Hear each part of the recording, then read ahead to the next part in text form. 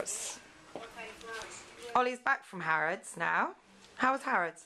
Harrods is wonderful. A lovely lunch. Did you go dressed like that? I didn't. I thought today, what I'm going to do is enter you into a world that no one ever sees. Seriously. Seriously? My bedroom. Wow. And this is uh, this is where the clothes of the past three series of Made in Chelsea have come from.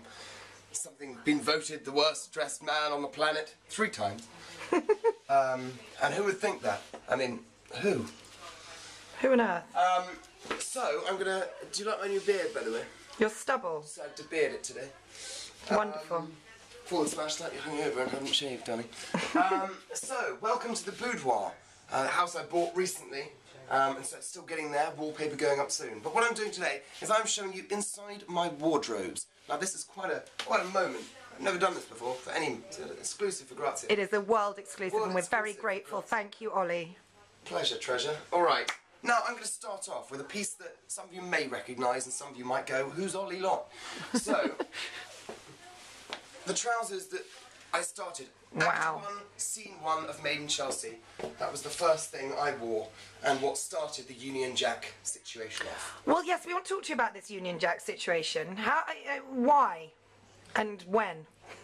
It all started when I went into Topshop um, and bought these, and I thought they were quite fun. I quite like the Union Jack. It's before the whole, uh, it's before the royal wedding. It's before, of course, the Olympics, the Jubilee, everything, because everything is now Union Jack.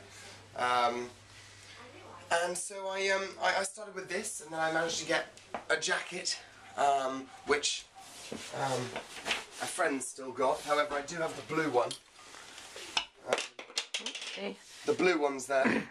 Um, a company called Rhino. That's GB fabulous. They're originally made for, for David Bowie.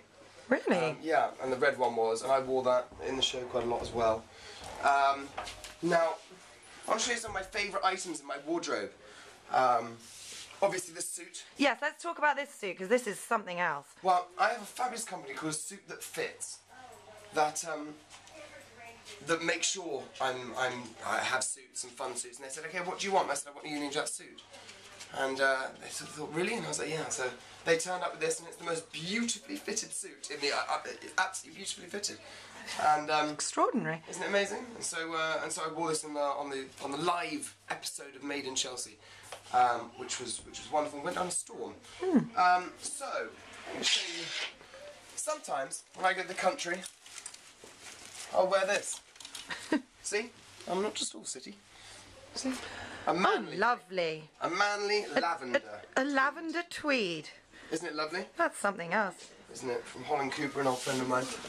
Um, we didn't go along. Remember Matthew Williamson did H&M? Oh, yes. Remember that? Bought one of those, Lovely. That's very nice. isn't it? It needs to dry clean, to be honest, but when Williamson did that, Yeah, yeah. um, pretty cool, to be honest. Um, then move along the racks. Just slightly more olified stuff. What's that? It's a silver, silver jacket. Okay. I often used to wear What it a lot. about my personal favourite new edition? Here we are, yes. The new edition.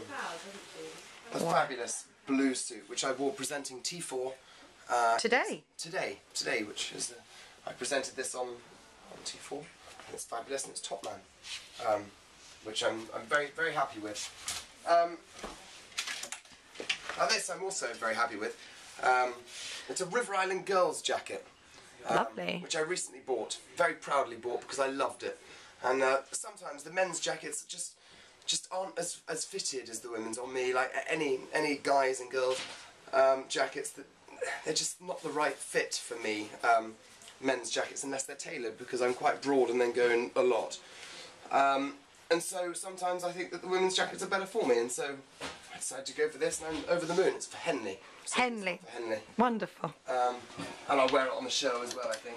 Because you do have to keep up with the fashions on the show. It does become slightly ridiculous. And you run out of clothes. So you end up buying so many. I mean, look at this. You haven't seen this, have you? These aren't all mine. This is Cheska's second wardrobe. Ah, Cheska's second wardrobe. Cheska's second wardrobe. She invades my room. Uh, that is my only wardrobe. She invades my room. Right, now, something else very, very famous. There has been Twitter battles to try and win this, to try and find it. No way. find it. And, not only that, what I'm going to start to do is I'm trying to get every celebrity to wear this and then auction it off. Well, who else has worn it? Who knows?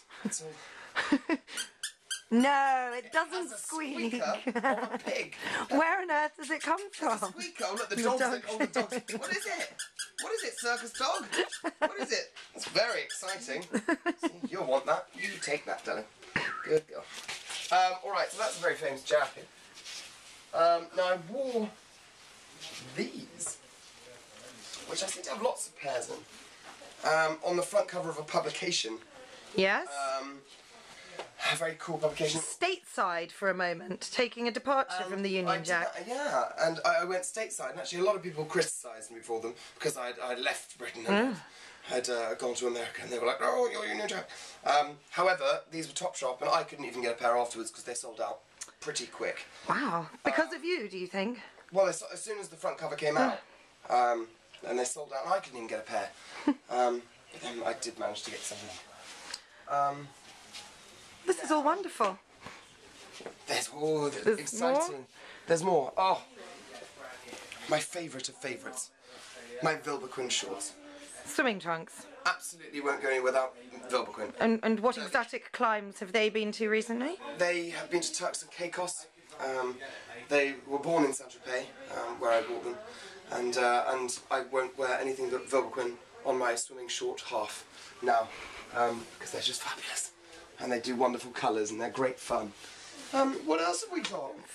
About it. We've seen all the key pieces, Oh. haven't we? There you go. Oh, Shoes. finally, yes? There you go. Oh my gosh. I haven't drawn them on. They were they were made.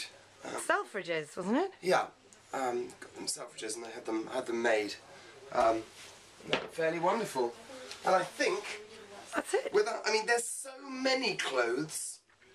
I don't even know where to start.